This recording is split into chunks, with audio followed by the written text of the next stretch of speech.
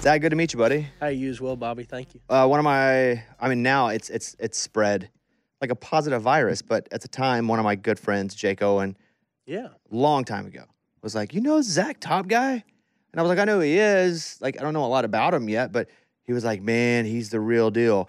I didn't realize you were so young.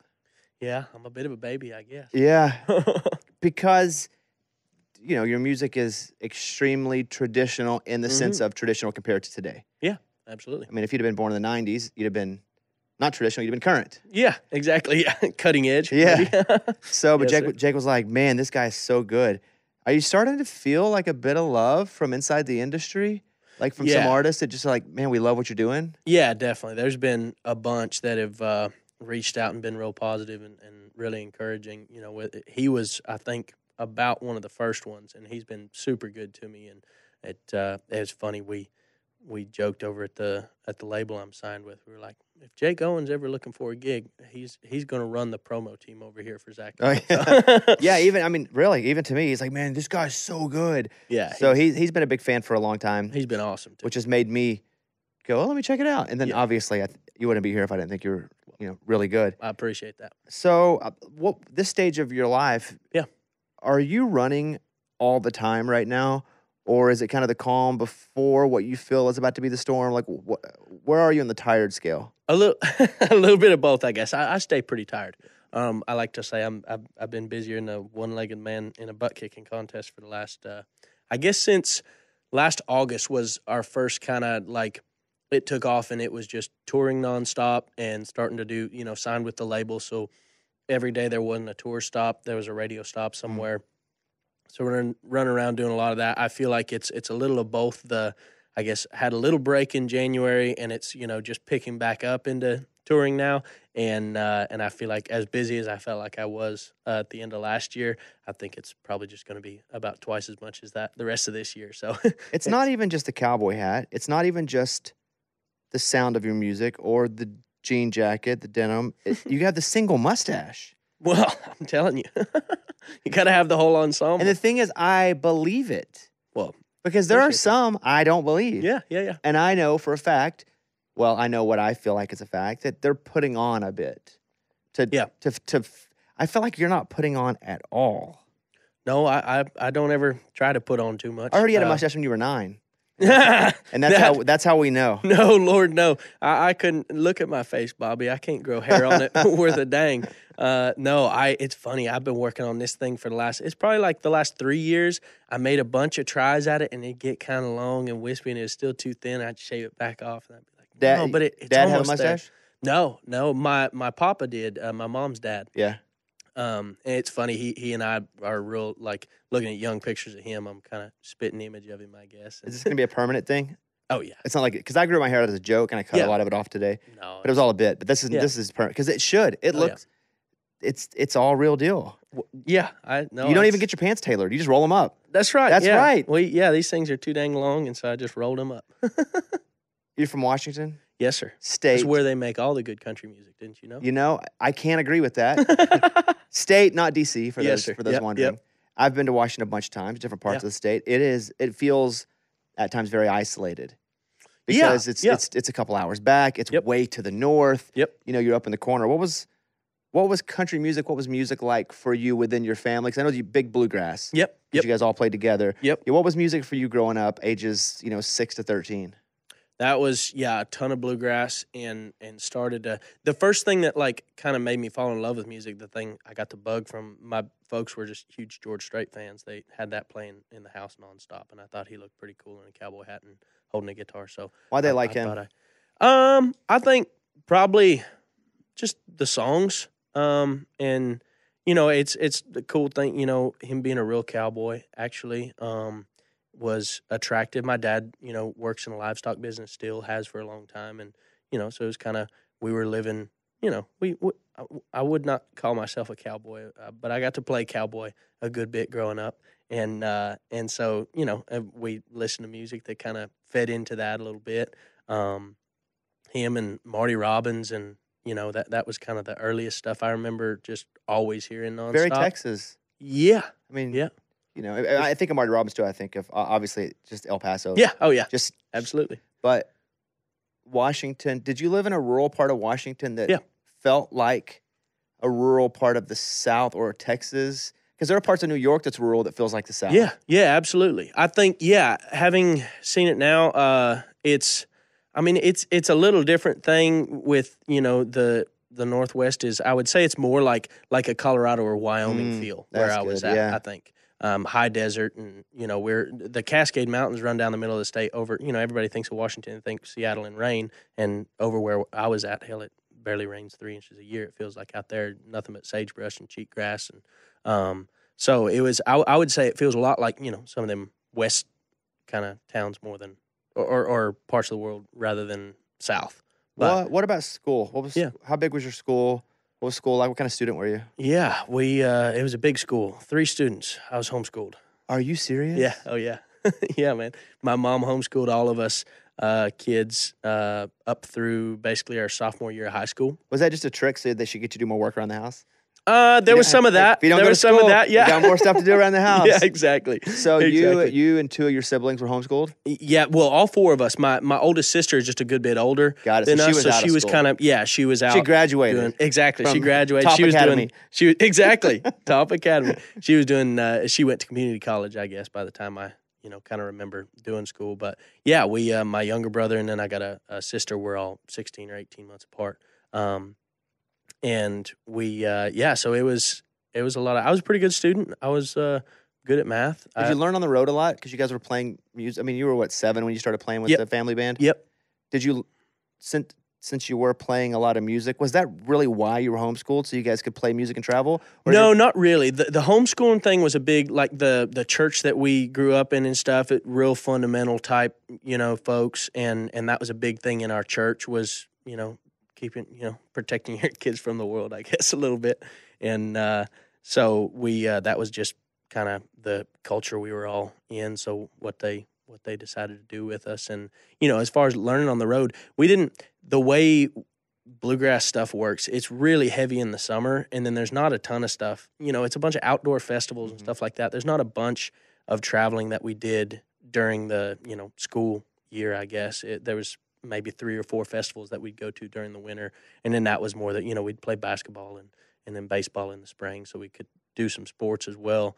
Um, and then pretty much the whole summer was just dedicated to to the music thing. How did you play sports? Because it's, if, you play basketball, Yeah. they got two more players than you on the court. Oh yeah, It's five five v three. It's hard to win. Where did you? No, how, yeah. how did you play ball? We it was all like club teams, you know, starting in little league, obviously. Like YMCA type stuff. it. is what we had in Arkansas. yeah, exactly. So Um, you, you played ball. You played basketball. Yep, yep. What else you play? through and baseball.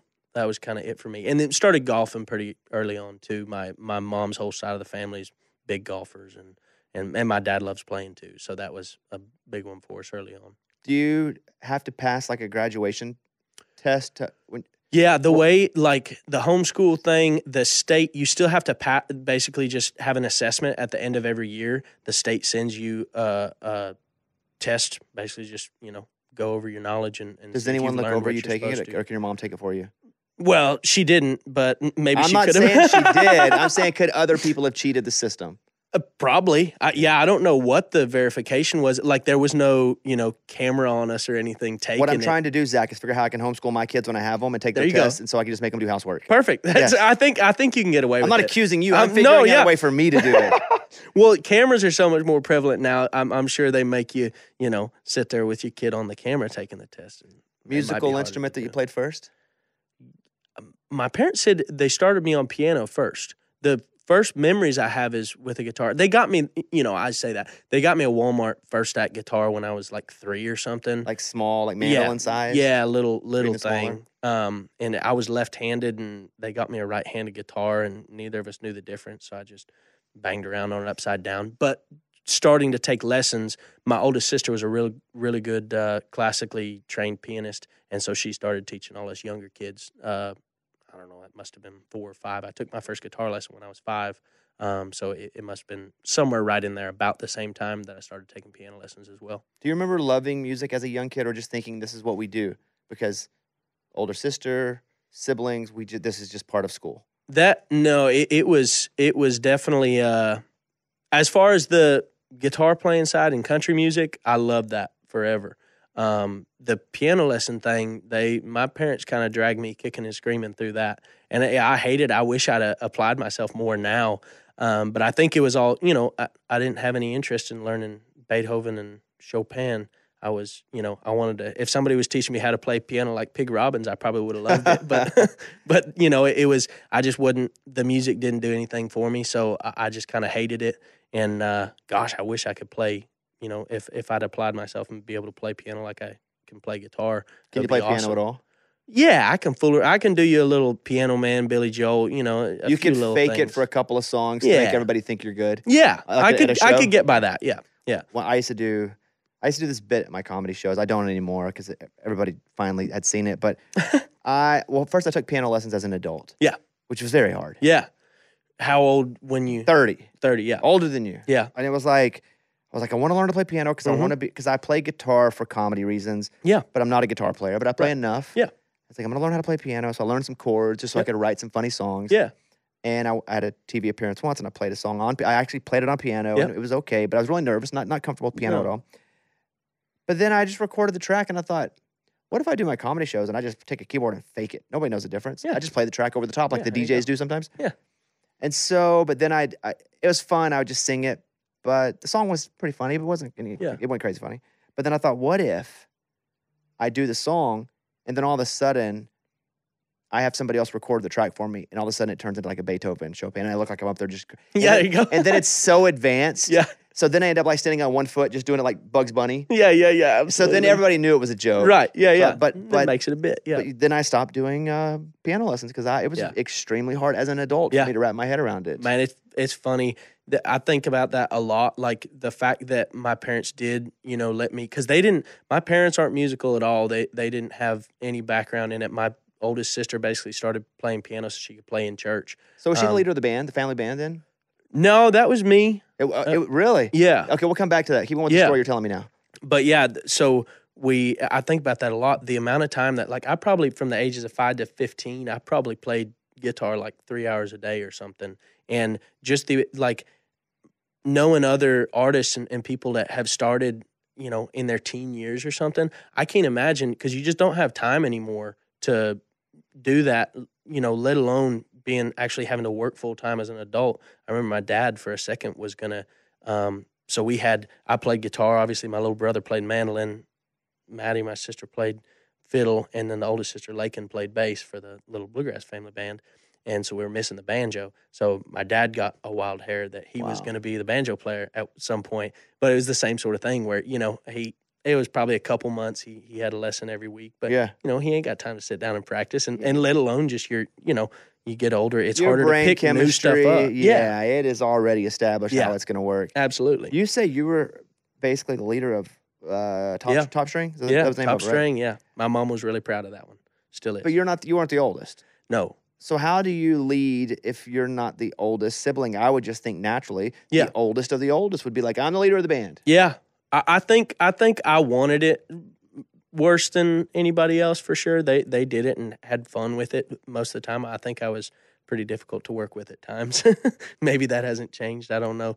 Um, but anyways, uh, yeah, we heck, I, I, booked our first show. I guess uh, an old family friend of ours, Randy, um, had called my dad and asked. The first show we played was opening for a Patsy Cline musical at the at the local high school, and Randy had heard that we were he was part of the Rotary Club, you know, helping put it on or whatever.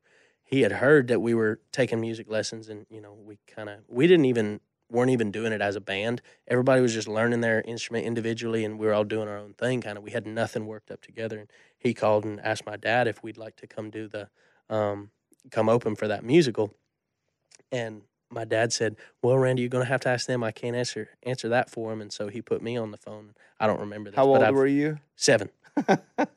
I've been told the story enough. Um, he uh, he was like, "Hey, we'd like you to come do the show," and I said, "Well, Randy, that sounds great. We'd love to." And he's and my first question was, "How long is it, or or how much time do we have?" And he was like, "Oh, showing for a couple months." And I said, "Well, that's perfect. We'll know some songs by then, and we'd love to do it." So then you start rehearsing. Yeah, yeah, and then we started actually, yeah, trying to work up stuff together. Um, so yeah, that was Dang, kids do the darndest things. That do they ever? That was you at seven. Yeah, running the business. Yeah. Why would you play guitar for hours at a time? Meaning, Was it pure enjoyment? Was it pursuing the dream of music? Was it pursuing the idea of getting out of Washington? Not in a negative way, but just no, right. Yeah. What?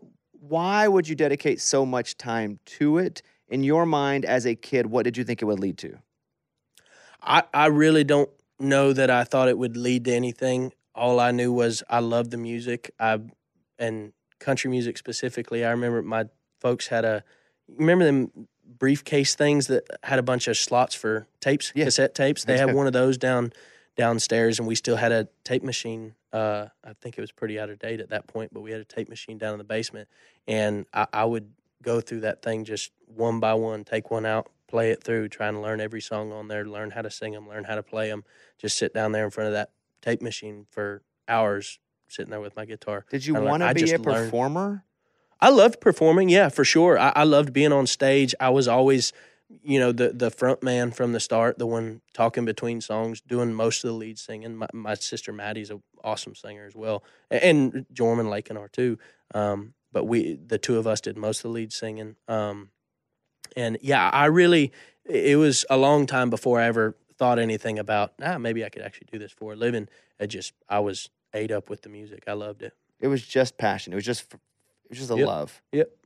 A whole bunch of old bluegrass records. I remember I got a box set thing with like 80 George Jones songs on a CD. I went through all of those, learned all that stuff.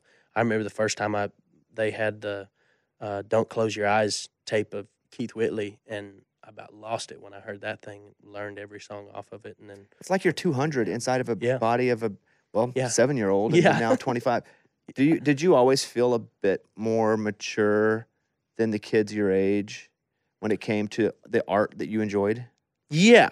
Yeah, I think so. And I always, you know, I think I always hung out with, you know, kids that were, I played up a good bit, whether it was sports or music or anything. I, was always hanging with kids that were a couple years older than me. And, um, and especially in the, in the music sense of it, I guess. I grew up with a handful of guys that I ended up playing in a band with uh, called North Country for a little while, and those, you know, they're most of the guys in that band were ten years older than me or something. Um, but I love they were because yeah. I'm familiar with the band. Yeah. So like 2015, you guys start.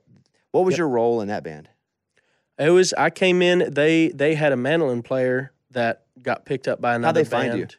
They, we just uh, they were Washington guys too, so all the festivals up in the Pacific Northwest, we we were going to all the same festivals, so we'd see each other nonstop. You yeah. know, just for a long time. Sure. It was just jamming, having fun. We didn't uh, think it was, but when they lost that fella Nick Dumas, um, did most of the lead singing for him and played mandolin. They asked me if I would like to learn mandolin and come be their lead singer. So I did. Did you learn mandolin? Yeah. Was it uh, pretty easy to go one to the other?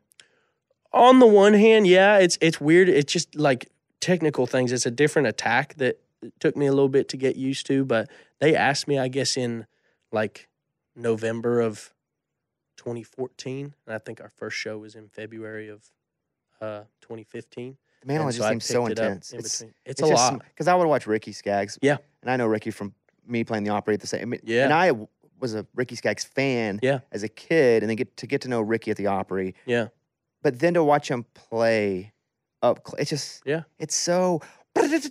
Yeah, man it just feels so intense up close. Way cl- way more intense than it seems from afar. Yeah, and I, I, think it's I think it's a more difficult instrument to play, in my opinion, than guitar, and it, probably that's partly because I've spent more time on the guitar. But like just from like physically, you got two strings. You know, the double strings tuned the same, so you're depressing two strings sure. at a time instead of just one, you know, just little things like that. I felt like it was hard on my hands compared to, and it's tiny too. Like you're wrapped around a hoe handle with your hand, and and the frets are smaller. I felt like it was kind of. I, I faked my way through it. When's but, the last time you played a mandolin?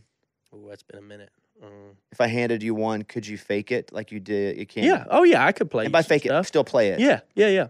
But you could make somebody feel like, yeah, of course. Yeah. Yeah. Man, that'd be cool. I can't I fake anything that good. Nothing. I can't fake I, anything. I've, I've, gotten so good at faking so much stuff. I'm telling you. when you're with those, so you're in another band. Now, to this point, it's another group. Yep. It's another group dynamic. Yep. Were the thoughts ever, hey, I think I can do this by myself, or I want to pursue something not to lose the other guys, but something that's more real, true, and traditional to me, which is you know the sound we call your traditional sound now. Yeah. When did that start kind of creeping in? That was, I guess, when I started uh, working with Carson Chamberlain, uh, my producer and, and, co-writer on everything. Um, that started to feel like once I started working with him, he was really focused on trying to like. Uh, that's what he, from the first times we talked together, he impressed upon me the importance of that to like all right, so we know you love Keith Whitley and you love George Jones and you love Merle Haggard and you love George Strait, but when you sing a Keith Whitley song, you got to start figuring out how to sing like Zach, not like Keith Whitley all the time. And, um, you know, or whoever it was that I was covering the song.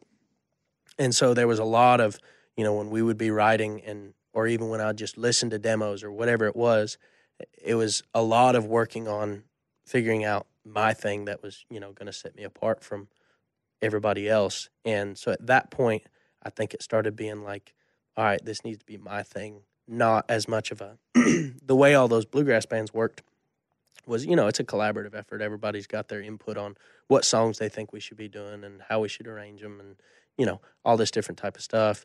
And so once I started, yeah, focusing in on who I was as an artist, then it all of a sudden it felt important that it's like, all right, I got to call the shots now, sort of. Like um, when you were seven. Yeah, exactly. North Country was North Country bluegrass though. Yeah, well, so was that was hybrid-ish. Type? Yeah, very much. Like if you the early Skaggs stuff, and you know even Whitley in that last you know thing he did with J.D. Crowe, where it was it was mostly bluegrass instruments, but they had some drums on some stuff and some steel on some stuff and piano, I think, too, in there a little bit. We loved everybody in that North Country band was a big fan of that kind of hybrid thing. So we were doing a bunch of country songs. We played all bluegrass instruments. It was an entirely acoustic band, um, but we we loved you know bridging that gap a little bit between. Since you were the young, they were ten years older, so mm-hmm. generally, was their mind, hey, we're just doing this for fun. We got jobs and kids mostly, yeah. I, I, mean, they they all loved the music. There was one other kid that was he's a couple or yeah, a year or two younger than I am. Um, who's a phenomenal musician. He's from up in uh, Squamish, British Columbia. Um, so we were the youngest in the band, and but the older guys, I think, definitely was more of a for fun thing. It's funny the other guy that was kind of the band leader. I started being responsible for a lot of the song selection and and uh, like set list or like writing. Yeah, Got set it. list and um, but this guy Will McSeveny uh, was kind of the band leader. He ran the you know as far as the business side of things and everything. He took care of all of that and did some of the co-writing on some of the songs with me too. Um, he was he's here in Nashville now. He's got a little he's got a small uh, bluegrass label. He's got a few artists signed to. So he's kind of you know I, I think really enjoys the business side of the thing probably more than the you know, being the one on stage making the music. Um, so he's in the music business still, but I think yeah, for the rest of them, it was more of a you know, it's a fun thing to do on the weekends. If you're in a band and I don't know, did you sneak off and do something by yourself for the first time, or were you just like I'm gonna go record, or did you just like the band's no longer, I'm gonna just like the first song you recorded was it under the because once I snuck and worked at another radio station, didn't tell anybody. Yeah, used, yeah, yeah. Used a fake name because I was like, let me see if I like it. Yeah. What was the first rec- when it was just Zach Top, or was it Zach Top? Was that your name? Yeah. Was, oh yeah. Okay. Yeah. So, what was the first song you recorded, and was it when you were like, "I'm I'm not in the band anymore"? No, it was so uh, after that North Country band, I joined up with another uh, group that was. I mean, they were all scattered around. Fiddle player from Murfreesboro, bass player from just outside of St. Louis, uh, mandolin player, and still living player. up there. I was still living in Colorado at the time. Got yeah. it. And uh, wait, wait and, I don't even know when you moved to Colorado. Oh yeah, that was uh, 17. We played our last show with the family band the summer of 2015. And you moved to Colorado 17. Yep. For what reason? Both my sisters were moving out there. My parents kind of shipped me off. They wanted me to get out of town. I was dating a little gal, and they thought I shouldn't have a little business. Taller than three uh, feet? yes, yes. Okay, just making sure. She's a regular size. Okay, all right, so regular. Okay, got it. Got it, got it. Just making sure. Yeah. um, so they they kind of were like, because I thought I was gonna stay there and and uh, you know just get married, her and get married yeah, and yeah. go to Wazzu or something. And anyway, ended up that's WSU, I guess. Probably it's I'm Washington people. Yeah, yeah, perfect. Um, so anyway, they kind of my sisters were going out to Colorado uh, to see you um, and they kind of just shipped me off with them. And Did you live in Boulder? Yep, How'd lived in like it? Boulder for the first. It was really fun while I was I was in school there for a year and had a blast uh, while that went on. As soon as I decided I was done with school and quit that and started working, I got pretty tired of it pretty quick. What'd you do for work? I started working construction. Were you still playing music Yeah. on oh the yeah. weekends? Yep. And weekend what did you think? What did you foresee happening within the next five years or so once you decided school's not for me? Yeah. You still played music. Obviously, you loved it. Did you see a future in it for you long term? Yeah. Yeah, that was the the reason that I quit school was that was like hell. I'm well. I guess I was only one year away from finishing. I was a, uh mechanical engineer. Uh, I was only one year away from finishing my degree. Didn't even want to hang another year, huh? No, I was just like I gotta be done with Yeah. this. And and you know, it's going into debt on school. I felt like I was just digging myself a hole to where, obviously, knowing what I know now uh, on the music business side of things, it's not good to start in a hole because you're going to get yourself in more of one trying to start this this kind of career. So, um, but the yeah, I basically was just like I got to make some money and save it up so I can move to Nashville. So that's why you were working. yep, that's why got I it. decided to quit. And what? my parents were thrilled, as you can imagine, that I decided to quit my mechanical engineering degree a year before. I you know, one it. year. I can get it. I get it. I see why. Oh, I know. like, same. Quit as a sophomore. Yeah. you know, not a junior or senior. Yeah. Um, but no, you knew what you wanted to do. You're right. Yeah. And you obviously had a head on your shoulders. It was pretty good considering how old you were. And that seems to be the, the thing that's in common throughout your whole life. If you're seven or if you're nine running the band or if so when you moved to Nashville, what was that number you needed to hit, either financially or because you're saving up money, but what are you Mhm. saving to have so you can move out just enough to move? To move and have 5,000 Yeah. thousand in the bank. Like what was it? I, I think it, more than financially, it was just like to be in a position where I, and you know, c- construction is just a thing you can do that anywhere. So Yeah. that was kind of, I'll save up a little money and then I'll move to Nashville. I'm sure I can get a construction job out there. And that's what I did for the first little bit that I was out here. Um, but I think more than anything, like I didn't know how to get to Nashville or what the hell I was going to do when I got here. I had no clue about the music business outside of just, you know, the tiny little world of bluegrass. Um, so when I started talking to Carson, that was Carson Chamberlain. Yep, Carson Chamberlain. Uh, spring of 2018. After Daryl Singletary passed away, I put up a video of his song uh, "Spilled Whiskey," and that thing kind of blew up for me. I'd never, you know, I'd been, I'd started posting some videos just pretty much on Facebook. I guess I didn't even have a Instagram. I don't think. Um, but anyway, I was I was posting stuff on Facebook, and I'd got you know 1,500 views on a video before or something, and that thing kind of took off um, and shot up to 300,000 views on it, and had a bunch of people reaching out to me. Were you living here then, or No, just still you're in Colorado. yes, sir. Um, it had a bunch of people. You know, it, it all felt like shysters, uh, for, For lack sure. of a better term. Yeah, you know, yeah, it's yeah. the kind of thing where it's, you can come, up with twenty thousand dollars, and you know we'll cut you a record and put it out. And it was I didn't know anything, but I it, I knew that that didn't feel right, and I was pretty sure that wasn't the way it worked.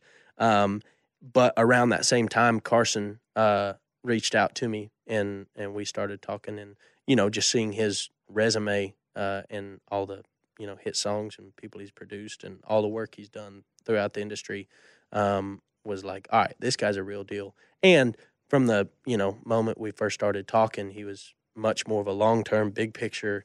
You know, we're not going in and cutting next week. We're probably not doing it this year. And so it was it that made sense to me that it everything he was saying and telling me felt like the way to build a career, not just like let's capitalize off a little bit of online buzz. Um, Was that video going a bit viral? What was the final part of the catapult that made you just go, I got it. I- need to get out there?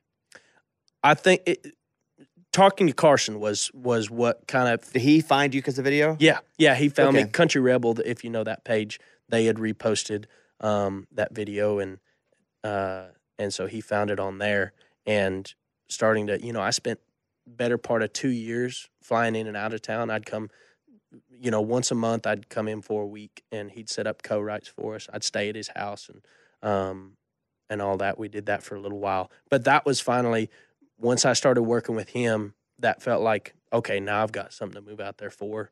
And because as much as as bad as I wanted to get out here, I, I didn't feel like there was much point in, you know, just coming out with nothing to I don't know. I guess it just finally validated. That's like, all right, if this guy wants to work with me, well, he really I believed might in you, have huh? a shot. Yeah, big time. Like letting you stay at his mm, house. Yeah. Oh yeah. Oh yeah. He's treated me like another kid of his. Make you do the dishes? Oh, sometimes. Okay. See, that's how you know it's real. Yeah, absolutely. So you're moving from Colorado to Nashville. Did you just pack up the truck and drive it? Pretty much. Were you were you more excited or nervous, or would you, what was your mindset? Like, let's just give it a shot and see what happens. If not, worst case, I go back home. Yeah, I was pumped. I was very excited, and you know, it, it was funny when I uh, told my parents I was quitting school and and coming out here. Like I said, they were not thrilled. I was being facetious. Um, they they were not fans of that. And, I, I think we all got that. By Yeah. the way. yeah, yeah. and so it, it was. I had a bit of a rocky relationship with them for a little bit. Really, it did create a bit of a splinter for a while. Yeah. Mm. It did. And then, but I think as, you know, uh, when I could call home and tell them I was working with this Carson Chamberlain guy and explain to them, you know, what he'd been done, been doing for the last 40 years and, and, uh, you know, send home some of the songs we've been writing and that sort of thing. I think that validated it to them as well. And so I, I think they kind of jumped all on board and they were very supportive um, after a minute. So it did feel like when I moved out here, it's like, I'm gonna go for it. We'll see. I've got a you know safety net. I can. I've got family, and and I felt like I had Carson looking after me too, to where I, I didn't feel like I was just gonna be out here on my own trying to figure out through the barren tundra of Nashville. What I was this town do. like for you when you moved out here? What, or at least, what did it? What was your perception of Nashville the first six months? Because my definite perception was different than what it is Yeah. now. It, it was dumb. I hated it because Carson told me. I figured when I'd get moved out here that I'd be playing in bars every night and writing songs every day. And he told me, absolutely not. You don't need to do that. We'll write a couple days a week and you keep working construction. And uh, I think, you know, looking back, there's a ton of wisdom in that just to keep from getting kind of swallowed up in the Nashville machine and becoming one in the crowd um, I think I was able to keep the town just a little bit at arm's length and keep working on, you know, my own thing that made it stand out. Um, so it was, you know, I moved to Spring Hill. Uh, it was, you know, so I was, I wasn't on Broadway every night. I didn't, I think I've been, I haven't even spent a night on Broadway. I, I didn't have much interest in that. I, I found kind of some of the more divey places that were playing some old school music that I liked. Um, stuff like the local and Music City Bar and Grill and stuff like that. Um, but so I was still, you know, I was working construction four or five days a week and writing two days a week, and it was it was work Were you chomping at the bit a little bit though? Like I'm in Nashville. big God time. dang, man, I want to do more. big time and like looking at other sort of peers of mine uh you know that were you know they already had publishing deals or, or what have you it felt like they're doing what i want to be doing and uh and i think it was it was re- even once i got my first publishing deal um i i kept working construction and it, that was all you know carson kind of urging me to do that and not ever play in town pretty much and you know i had a decent little road schedule still um What kind of shows were you playing on the road? it was i had a country band at that point and we were you know we, it just whatever we could get into Mm. some smaller time festivals you know play little fairs just you know a lot of some bar owner saw a facebook video of mine and so he wants me to come play and it was a bunch of that stuff Did that Um, Facebook video, the Daryle Singletary video, did it live a long time where people were still like, dude, I just saw this video, and you're like, that's four Yeah. years ago. it felt like not that long but it, it felt like for like the whole year after that Yeah. that thing kept coming back up That's pretty and- cool. Yeah, yeah. It was it was the first kind of I kind of I've always begrudgingly used the all the social media stuff, and that was the first um, time where it felt like yeah, this is a way you can reach a ton of people. And you know, when I had nothing else going on, all of a sudden there's a bunch of people that know my name and you know are following me now, and um, I think that yeah, it's funny. I didn't ever want to make a TikTok. I didn't want to post on Instagram. Yeah, you're didn't the guy to that. me that seems like he's just craving TikTok. No,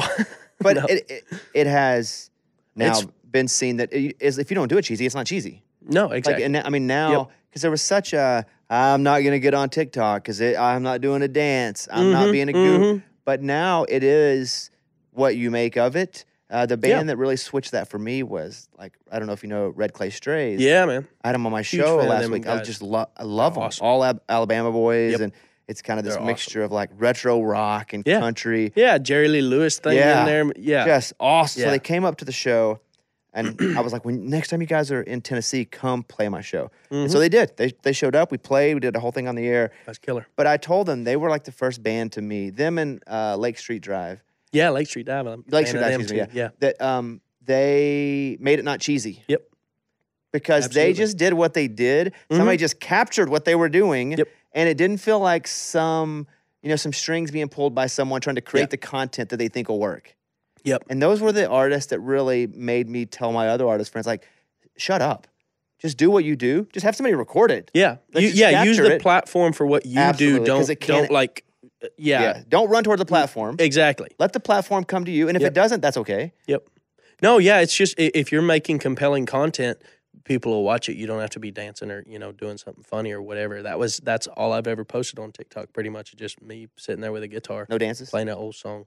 No, I th- there was one video that uh, I considered not posting. Uh, th- there's a I made it while uh, I was working on this house up north of Nashville. Uh, it's I've got my tool belt on. You know, I've got my hammer loop in the back, and guys will do a trick where they toss the hammer up and, And it spin it, loop, and it yeah. goes in the loop. And so that was the closest thing I kind of came to doing a dance, I guess.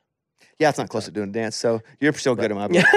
Yeah. Well, there was. I mean, I was shaking my ass around trying to trying to catch the thing, you know, a little bit. So it was. It was I think some people enjoy it. Can you dance? I can two step a little. I Okay. can swing dance a little. This the swing dance. Tough. My, my grandma taught me a two step. I'm from Arkansas, so Mhm. Yeah. you know my grandma taught me to two step. Yeah. Um, and then I also grew up in the you know 90s, 2000s when Yeah. music was then universally available online, Napster. Yep. So you could really have any kind of music. Yeah. At all. So I also went to a school that wasn't just all white. Yeah. So like a two step, but then I would just grind. Yeah. I just get on a butt and grind. Yeah. That's what, that's what we did at the Amen. dances then. and so, but never really had like you know I wasn't super good at it. I want to dance Yeah. with the stars. I won that show. But You again- did? Yeah. I didn't know you were on Yeah, there. That's the mirror awesome. ball's right That's behind hilarious. I you. But it's love like. I never was good. Yeah. But I really I I I enjoyed it fine. It was music. Oh yeah. Yeah. Do you, I, I- my point was I line danced a little bit. Yeah. I tried to I never could get into that much. I when I was out in Colorado, I had a bunch of, you know, kind of redneck buddies that I lived with and we'd go down to the Grizzly Rose. Um I and played there before. Like, yeah, I believe it. Yeah. That's I love that place. We spent a lot of lot of time in there. And I tried the line dancing thing a little bit and it didn't it wasn't my thing if I didn't have a you know, I'd like to Have I a don't a think I look girl under three feet a, tall. a little girl, Yeah, a little yeah, yeah, gal. little- that's little that's what I want to be girl. dancing with. If I'm dancing by myself, I look dumb as hell. And so I spent more time on the pool tables, I guess. I definitely look dumb. Yeah. But I was okay with it. but it's I love it. You know, it's like a wedding dance party, like Mhm. You- you'll dance. Oh yeah, I'll get out So there. So you're not too a cool to do it. No, no. You get Got it. a couple beers in me, and I'll start Yeah, yeah. taking clothes off and doing things nobody's ever seen. So, No, I'm good not knowing about that. yeah, But that's all right. in college, There's pictures you can find. Nope, I'm good. I'm not seeing those two. Uh, in college, I took line dancing Okay, because I knew all the girls were taking As a class? dancing. Yeah. just Well, a- at one of the clubs or something. dude, it was Southern Arkansas. No, Yeah, it I wasn't a class. It was a college class. it was a college class. Yeah, like No on Tuesday, kidding. Wow, Tuesday evenings. I would go and take line Wow. dancing, That's and I learned the dances because I Yeah, was like, "This." yeah. Is, but but really, I just wanted to get. What got me though was I went and I was like, I'm gonna meet all these girls because apparently it's like 90% female, but it was like 90% female non-traditional, so they were all like 50. Oh, there you go. yeah, So I really, you'll have that. So I really just that learned the wasn't. dances. That Yeah, was, really yeah. You wasn't- just you just became a really good dancer. yeah, I just got a lot better at line Didn't have no distraction. the Washington State music scene. I'm not going to even say Seattle because Yeah. Seattle to me obviously is what it's associated with to me is two things. One, the grunge in the 90s. Yeah, yeah. All, all of, course. it from Nirvana. You Yep. go to all. And then even a bit of a hip hop movement. Yep. With Macklemore. Absolutely. And that what the Washington State country scene Mhm. is there a, a country scene or is there the bluegrass scene even bigger? I don't. I mean, it's hard to say. The bluegrass scene was not big out there. We have there's a festival in Washington somewhere every weekend you can go to all summer, um, and a, a handful of good ones in the winter as well. Um, so it felt like it was big uh, at the time. I mean, it's nothing like the southeast. Um, And as far as country, there was no like I didn't play any country music up there. I, I was playing country songs in my bluegrass sets, but there's no like, there's not a circuit of clubs you can play. No really. straight ahead country clubs. No, no, not really. Um, there's one that Tractor Tavern in uh, in Seattle is a pretty strictly country spot. Um, I've not played there yet. Hopefully soon. Um, but that was you know, and even just music to country music to see that you know it was basically when you got the county fair or rodeo. Um, they bring in some. I remember the first big show I went to see was um, John Michael Montgomery opened up for uh, Dwight Yoakam, I believe, and I took that little gal I was dating. That was She had grown a little by then, though. what's that? She had grown. A She had little by then. grown. Yeah, she had grown pretty good. foot, Yeah, yeah, absolutely. Um, we were talking about like a video going viral, Yeah. but I saw that Bad Luck had really blown up on Yes, sir. TikTok, Yeah, and that wasn't. it- That was just you. That was just you doing your thing. yeah. It was me doing a stupid thing. I was laying on a dang seat in a pontoon So what in my tell- jeans, right? So what does playing that tell guitar you? on what, a boat. what did you learn from that? Man, it's so funny. I don't know because I, I don't know what it was about that video that was compelling to people because it was like, you know, if I listen back to it, it wasn't the best I've ever sang. It wasn't the best I've ever played guitar. It was like I was sitting in a position where it was difficult to play guitar. And I- don't know if it was just because it was kind of goofy that, you know, I'm wearing jeans on a boat. I'm, I look uncomfortable while I'm playing. I, I don't know if there was something goofy about that that kind of made it resonate with people or what. But like, I, I can point to 20 different videos on my TikTok where it's like, no, now that was a compelling performance of the song. And Mm-hmm. it got anywhere near the amount of views that one did. I, it feels like such a, like, it's the Wild West out there. You don't know what's going to hit her. You know, even with that song, I've loved that song ever since we wrote it, but I figured just the type of song it was, the fact that it's so different, doesn't sound like anything, uh, was it felt to me like eh, this is probably going to be like my sneaky favorite on the record, and most other people won't pay attention to it. And boy, was I wrong about that. Um, so it's it feels so strange to. I feel like I know a good song when I hear one and know something like that can be a hit, but even that one, I didn't call that shot. That's for sure. And I think because I've also seen the video, it seemed you're right. I don't even know when uncomfortable, but it just seemed so not shiny. Yeah. Because Yeah. it wasn't. No. I think that is likable. And I think too, it's just like you just do your thing over and over again. Don't don't get don't be distraught when it doesn't work. You just keep mm-hmm. doing it because because it's not going viral doesn't mean that it's not going to connect. No, yeah, Like it's almost like you have to keep doing it over and over again hundred percent. until you catch the freaking algorithm. Yep. Yep. It's wild how that stuff works. Yeah, and like even like reposting, we, you know, at the beginning of my, well, I had when we first hired my management team hired a company to start running my socials because it was, you know, it gets to be too much for one person to run. Um, they, you know, they would even repost the same video a couple weeks later and Do totally different numbers, good or bad. Right, exactly. And, you know, just keeping on hammering Yeah. that, keep throwing mud against the wall, and at some point something will stick. It's the dumbest So thing. funny. I did It a is. video the other day. Just had my hair. I was growing it out because I thought it was hilarious. Yeah. For no other reason. Yeah. My wife wanted to kill me, Mm-hmm. but I put it in like five different little ponytails, which I've never done that before. Yep. I'm not ponytail guy. No. Got a Really? got Are a- you sure? I'm positive. Yeah.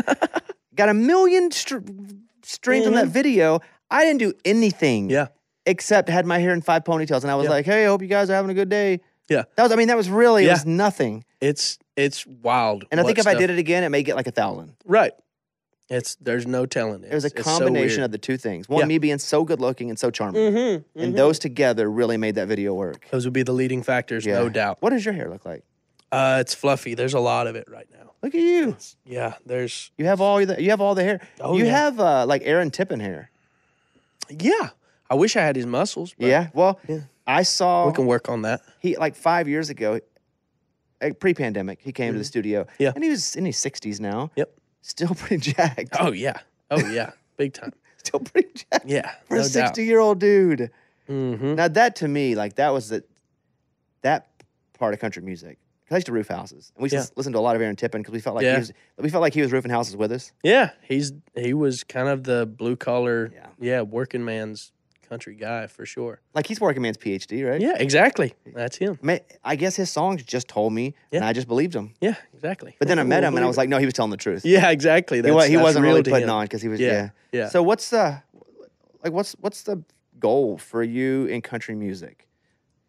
Um, Like what would make you the happiest if you had what blank?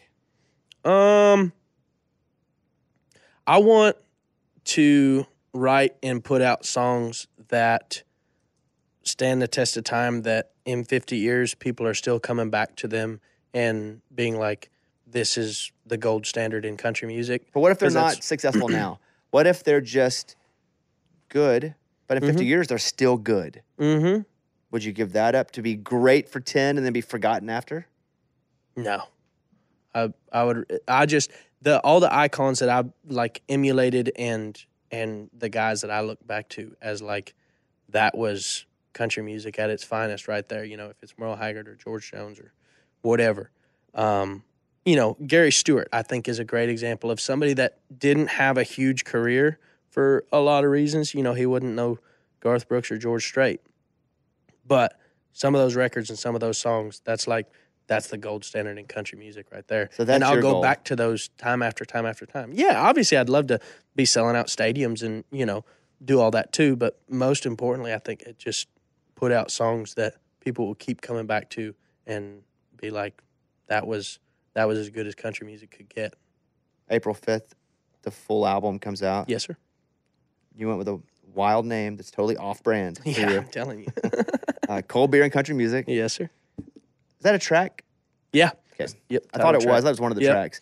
Yeah, So that was the first single why we did put out you to streaming. Why did you select that as your that? Because again, you could pick. There's a lot of. that- I mean, we could roll through that. You, you could have been Cowboys like me do. Mm-hmm. It could have been. There are a lot. Bad luck could have been the. Yep. Why? Why that? Sounds like the radio. I, I, I mean, that's just me to a T right there. You see that title, you know what you're getting. You're getting the country music here, and you best get the cold beer out because you're gonna want some as soon as you hear the first track. What about warm beer? Mm, that would be fine too, but it's less enjoyable. Mhm. If And in I- a pinch, I've never drank beer, so I don't know. I've drank a warm one before when there wasn't no cold ones to be had. What about a hot beer? like I'd hot? probably avoid. Like you like tea? Like Yeah. it's bo- you ever had no, a no, no, you no. ever had a tea? You'd lose all the carbonation. That would be horrible. Mm, You just haven't done it right. Maybe not. A tea beer. A tea a thing? beer. I don't. a I've thing, never. Bobby. Listen, I've never had a beer, so I can have all There's a reason they keep it all cold. I'm sure. but I just think you could just tell people it's different and good, and they'd think it was great.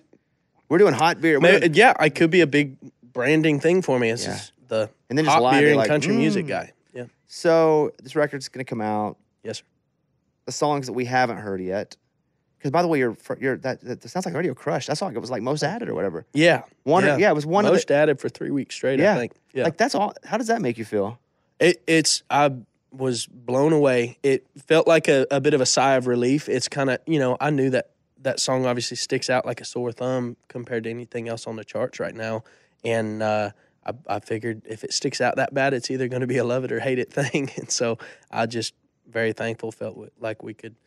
Okay, we weren't making it up. We weren't crazy. This this might work. Um, once that came out and it got that response. The rest of the songs that we haven't heard yet, Mm-hmm. sonically, what are they? More of the same, baby. I I said that in a Billboard interview recently. I and I didn't even think of it when I said it, but when I read the write up after, I was like, ah, that's pretty funny. That's a pretty good line. I said, uh, for those of you that like it, that's great. You're going to get a whole bunch more of the same. If you don't, you're not getting anything different. So it's it's more country music, as as good as I can manage to make it. Do you still listen to any uh, any bluegrass that's being made, like current current bluegrass? Not much. Um, that's same sort of thing. I, I feel like uh, if I go listen to some bluegrass, it's usually older school stuff, Larry Mhm. Sparks or you know that old J.D. Crowe and the New South stuff. I love bluegrass album band stuff. That's where it was at for me. Lonesome River Band. That was the stuff that made me fall in love with it. That I wanted to emulate and play. You know, Dierks. Obviously, you're gonna do some Oh shows yeah, with Dierks. yes sir. Like that dude. Yeah. He'll bluegrass you all day. Yes sir. And legitimately. Yep. Like it's not an act. He's I mean, he went and did a bluegrass record yeah, and s- exactly. and spent a bunch of time and money and Mhm. energy and Yep. just because of he, he loved to do it. I mean, I was it. talking to Dolly and she was talking about bluegrass. She said she had to get rich before she could do something that she wanted to do when she was poor, Yeah. which was make a bluegrass record. yeah, I think Ricky Skaggs had a line about that too. Something about yeah, I went and made some money in country music so I could afford to keep making Yeah. bluegrass music. Well, man, congratulations. Thank it's you. it's really cool that. because I mean, so many, just so many of the folks around here that I like, kind of vouched for what you were doing. Sure. Because I mean, there are ten thousand things coming at all of us every single day. Yeah, absolutely. You know, with you, people, with me, and so I don't get around to everything. I'd like Yeah. to, and I make a note. Go, li- but and there were two or three people that were like, Zach Top's awesome. Like he's like the neck. And so I was like, well, let me see. And I'd listen. And I liked it, but then I was like, let me see if this dude's putting on or not. because like you know, Yeah. Oh, absolutely. you look like you could be Could be act. cosplaying a cowboy, hundred percent. but it's really you. Yeah. The mustache is not only real, it's as off. I mean, if you didn't have a mustache, I would go like, you need a mustache. Yeah, yeah. It, it feels it feels like it completes the picture. But you're just like a kid. Yeah, and my mustache looks like a kid's mustache. No, no, it's good. No, no, it's, it's definitely solid. Appreciate well, it. I- man, I'm a big, I'm a big fan now. and Thank you so much. I'm rooting for you. I, like appreciate that. anybody who. It doesn't matter what style you're doing. It doesn't have to be in country music. It could be Mhm. whatever. I like anybody who doesn't really change because the temperature says so. Yep. And it can be a bit difficult to be doing it one way when everybody says, "Hey, maybe you should just modify slightly." Yeah. And I- just don't feel like you've done that, and I feel like that's the strongest thing about you, and that's what's gonna really propel you the same way that. you talk about your songs, like you're gonna love it, you're gonna hate it. You know, with you, that's all. That's where that's where you want everything, right? Because Mm-hmm. you can't get any traction if you're just pretty good. Nobody cares. Yeah, yeah. Somewhere in the middle doesn't. yeah, do you it doesn't do you any at Yeah. all. Yep. And so, like, I just think you're gonna kill it because you're the you're the real deal as far as what you present. Thank you, man. And that's. But if you don't like it, you're still the real deal. Yeah. But you don't worry about them. Yep. There are enough people that love what you do. Yeah. Well, really cool, man. I, this has been super fun for me. Uh, you guys can follow Zach at Zach underscore top on Instagram and then Yes. Zach Top on TikTok. hmm But you got more TikTok followers than Instagram followers. Yes, I do. Yeah, TikTok's been good to me. It's so funny. Isn't I- that weird? I never wanted that you and- yeah. are the one that TikTok's been good to. Yeah, it's it is goofy. It's ironic to me. Denim on denim, That's right. jeans rolled up, mustache wearing, Aaron Tippin hat having. Yeah. The- well, he doesn't yeah. have a hat. The hair. No, hair Yeah, hair. Yeah, Yeah, he don't wear a hat. Um, uh, sounds like the radio, which is now. But this podcast will live on in perpetuity. So whatever you're putting out, everybody check it out. Zach Top. Mike, anything you want to say to Zach here? It inspired me to grow a mustache. I've been trying for like 20 years. Come on Hey, don't stop believing. I have a hope now. don't stop believing. I All love right, it. Zach. Good to see you, buddy. Thank you, Bobby.